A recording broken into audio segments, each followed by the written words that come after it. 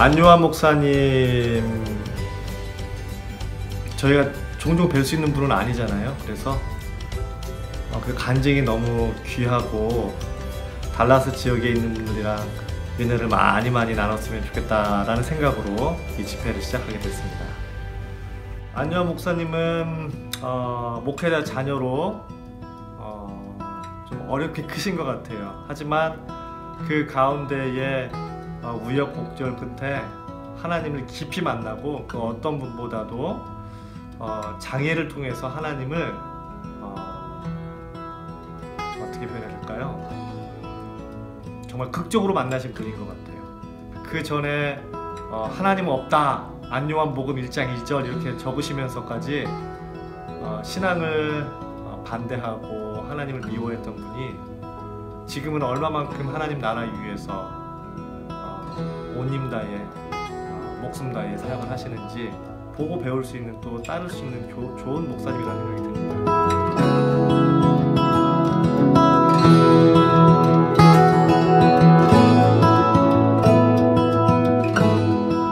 안녕 목사님 하신 말씀 가운데에 어, 한밤중에 본인이 경험했던 그 고통과 어려움들, 어, 모진 비바람과 어, 파도들을 말씀하셨는데 그 얘기를 들으면서 저희 미랄 장애인들이 많이 생각이 났어요. 또 미랄 가족들이 생각이 났고 안유한 목사님이 그 한밤중에 만나신 하나님을 간증으로 나누셨기 때문에 어, 아마 저희 장애 가정들 장애인들이 음, 그 동일한 하나님을 경험했을 거라 생각을 합니다. 저 역시 굉장히 은혜롭고 되게 어, 감동적인 간증 집회였습니다.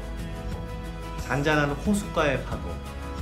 그래서 그 간증을 어, 낮은 목소리로 조용하게 툭 툭툭 하시는 게 제 마음 가운데에 또 많은 사람들의 영혼 가운데에 잔잔한 파도를 일으키신 것 같아요. 그래서 은혜가 되게 어, 깊었고 극적이진 않았지만 되게 깊었고 많은 사람들이 어, 하나님 인도하심 또 장애라든지 어, 어려움 고통 가운데 어떻게 하나님을 경험하는지 또 어떻게 내 삶 속에서 일하셨는지 그거를 어, 나눌 수 있는 그런 시간이었던 것 같아요. 배단이 교회에서 했던 간증 집회는 너무너무 좋았습니다.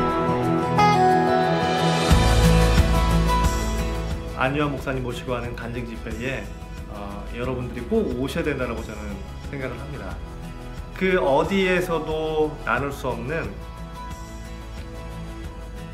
그 미랄에서만 느낄 수 있는 또 우리 안유한 목사님만 나눌 수 있는 그런 귀한 간증이 있거든요. 어, 찾아오신 모든 분들에게 큰 은혜를 어, 주실 겁니다. 특히 어렵고 힘든 한밤중에 울고 계신 분이 있고 또 음, 힘들어서 어떻게 할지 모르는 분이 계시다면 이보다 더 좋은 기회가 없다라고 생각합니다. 어, 저희 빈내리 교회 간증 집회에 꼭 오십시오. 거기서 뵙도록 하겠습니다. 감사합니다.